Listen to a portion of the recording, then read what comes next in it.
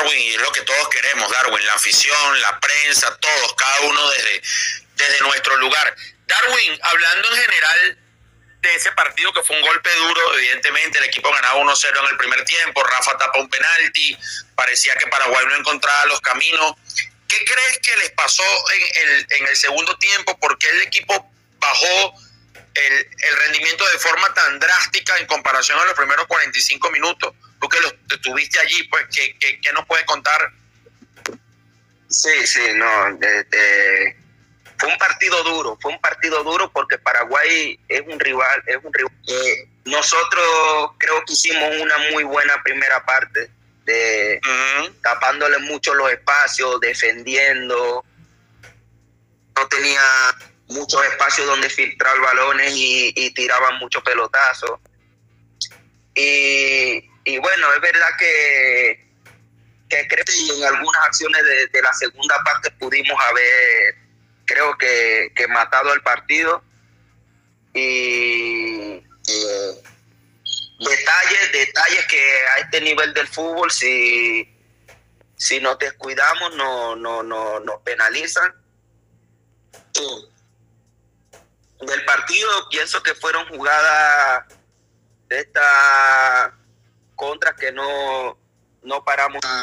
Jugadas aisladas que bueno ellos tuvieron esas esas ocasiones y, y, bueno, pudieron darle la vuelta al partido, pero, pero en general es eso. Eh, creo que nosotros también tuvimos nuestra ocasión y no, y no lo y matamos, pero bueno, por compromiso, entrega, nosotros estuvimos ahí y, bueno, que esto es muy largo, estas eliminatorias tenemos que ir trabajando y mejorando para para que no nos vuelva a pasar lo de en algunos partidos lo que no ha ido pasando y, y ahí estamos. Sufrieron el gol del empate, Darwin. Se vio como que el equipo anímicamente eh, decayó un poco. ¿Fue un golpe duro? Sí, sí, al final, por lo que te digo, estábamos haciendo un muy buen partido y de repente viene muchas situaciones también ahí del, partido que, que, bueno, que no, no, no nos estaban favoreciendo. Después como se venía desarrollando el partido muy aguerrido y tal, y nosotros, nosotros lo teníamos controlado, nos hace, y hay de todo el desgaste también del partido, todo, eh, se, nos dan la vuelta al partido también. Hay que estar tranquilo, de, desde el punto de vista de que tenemos que seguir mejorando, de que nosotros vamos a sacar esta situación, nosotros estamos convencidos y vamos a sacar de aquí hasta lo que queda, nosotros vamos a sacar los resultados que hagan falta y, y, y vamos a estar. Te quiero preguntar dos cositas más de ese partido y luego vamos a Brasil y Chile, que, que la verdad que eh, eh, contagia ese convencimiento que, que tienes y que seguramente es todo el grupo que, que, piensa lo mismo. Hay una jugada en el segundo tiempo, Darwin, donde tú vas conduciendo por como extremo por la derecha y tienes dos opciones de pase al área y, y, y bueno, el centro no fue el mejor. Eh, ¿La has visto? ¿Te lo reprochas? ¿Crees que debiste haber soltado la pelota sí, antes a Salomón sí, Rondón? Sí. sí, porque entré en ese momento de duda y yo iba bien en, en, la conducción, entonces como que no vi bien, no vi el pase claro, porque claro, una cosa es verlo por la tele también, otra es... No lo viste en cancha en ese momento.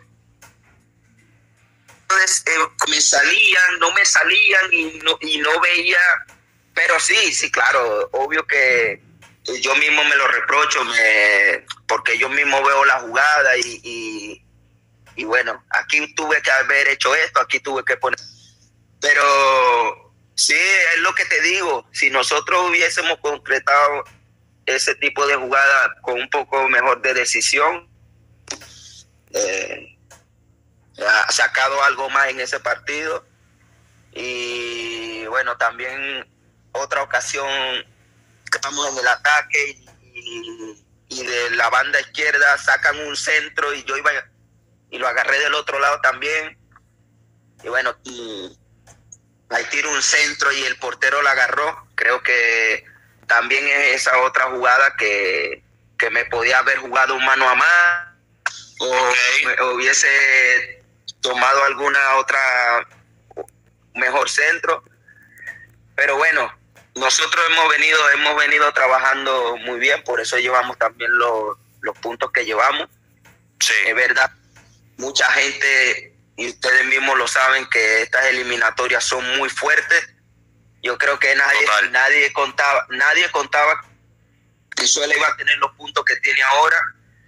Y nosotros, es verdad que, que estamos muy ilusionados, estamos muy ilusionados, millones de venezolanos también, porque eh, tenemos un objetivo tan bonito de clasificar por primera vez a un mundial cerca, que eso quedan mucha, muchos partidos y que bueno, eh, hemos dado un paso muy importante de, de demostrar Venezuela, que, que en casa también somos fuertes, que nos hemos puesto muy fuertes con nuestra gente en casa, afuera también.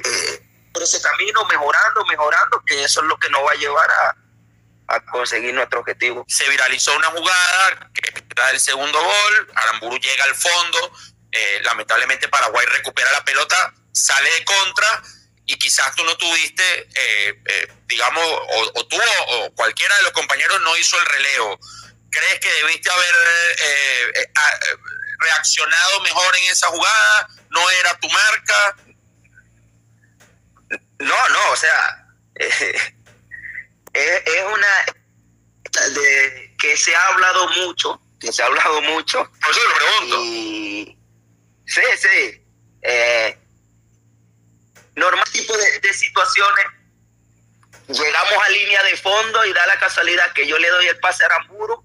Normalmente tú sacas un C, va, va al córner, va, va al, costado, tal, un saque de banda, pero claro, le pega a Aramburu, ya yo veto largo con él, y da la casualidad que el rebote en vez de salir fuera, bueno, le queda al delantero allá, allá adelante, bueno, una de esas jugadas aisladas de, de los goles de ellos. Yo sigo corriendo, sigo corriendo, bueno, eh, ahí yo pienso, cuando ya vamos todos en velocidad, lo que pasó un poco por mi cabeza, yo dije, no, aquí sale Romo, la agarra y le volvemos a salir en la con. Ok. Bueno, ahí, hay un, un desajuste, quizá yo me confié tanto y no, no, no llegué a línea de allá, prácticamente allá al área, metido en el área. No fue porque yo yo no, no tengo compromiso, yo me quedé parado, yo quizás también el cansancio y eso, y yo pensando que a Romo sale la garra, volvemos a salir a la contra, pero bueno, al final me quedé, el centro fue pasado y, bueno, no reaccionamos y, no, nos metieron el, el, segundo el segundo gol. Eh, no por eso se tuvo que especular tantísimo así porque lo que eh, pienso que, que, bueno hay muchas situaciones en los partidos donde un jugador quizás no tuvo mal lo que sea pero bueno al final eso no no es excusa tocó que esa situación tocó por mi lado y, y nada tengo que tengo que seguir eh, trabajando en eso y, yo estoy aquí firme. Eh, también le agradezco, le agradezco muchísimas personas que, que me han escrito eh, apoyándome. Igual yo creo que, yo se alarmó tanto como que yo le hice algo a alguien o algún daño a alguien. Y la verdad que, que bueno, hay muchos seguidores que, que se, han, se han comportado a la altura y yo lo que quiero es, aparte de eso, de que, que estemos unidos todos, afición, jugadores, porque nosotros estamos muy ilusionados igual que ellos y somos los primeros en que estamos con, con esa ilusión de que tenemos algo muy bonito a la mano, de, de lograr ese, ese gran sueño que, esto lo vamos a sacar entre todos porque quedan muchísimos partidos y, y ya y ya sabemos el gran apoyo es impresionante de eso no tenemos ninguna ninguna duda y, bueno estamos muy muy contentos por lo que hemos hecho juntos el apoyo de todos nosotros intentando dar todo lo mejor de nosotros en cada partido para un resultado con la selección y tenerlo más cerca y la verdad que, que, por ese lado contento y hay que seguir, seguir, seguir y no queda otro. Total, no, y agradecemos esa explicación, cómo viviste la jugada, tu autocrítica, la verdad que la aplaudo, porque sabemos que aquí en ruta y sabemos el cariño que te tenemos, el cariño que te tengo, Darwin, pero cuando te toca jugar mal, yo no puedo salir aquí y decir, no, Darwin hizo un partidazo, por eso eh, valoro que, que entiendas el, el, el, rol nuestro, nunca vamos a respetar a ningún jugador y sí nos pareció excesiva la crítica, pero la crítica también tenía que existir y si existe de tu parte, eh, no, creo no, que creo que es lo más yo, sano. Mira, créeme que yo soy el primero que no por esa jugada, no por esa jugada, porque en general me tocó, tocó, me tocó por, por mi lado por esa jugada. Pero hay tantas situaciones en el partido que yo analizo, no solo esa. Eh, pude hacer un poquito más en esta, pude haber hecho esto aquí, ¿me entiendes? Pero claro, eh, el enfoque que se le dio a y son muchas cosas más, son muchas cosas más que pasan en un partido y claro que la crítica, claro que sí, pero creo que hay muchas maneras de hacerlo, creo que el respeto también, entonces para no hablar más de esto, creo que, que se tornó muy, muy feo y la verdad que, que esa manera, sin, sin llegar a los malos, a los insultos, a las malas palabras, de todo eso, porque al final no, no, no duramos en nada. Pero sí es verdad que como estaba ese tipo de personas, había muchas personas que que bueno que me mandaron su mensaje. Igual digo que yo no, no le hice nada a nadie porque al final esto es un deporte, un partido que no quiera fallar, entonces que no sé, que no, no puede jugar. El que tenga miedo a fallar o el que, el que tenga, ¿me entiendes? Pero estamos firmes.